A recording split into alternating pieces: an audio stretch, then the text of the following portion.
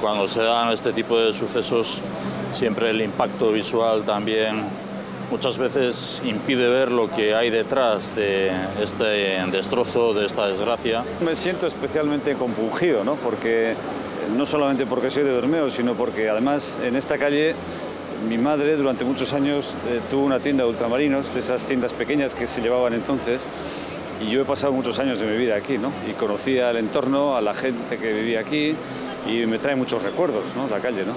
Y ver la calle como, como he visto, como acabo de verla, ¿no? Eh, con edificios derruidos y sumida en la desolación, pues me produce especial eh, preocupación. ¿no?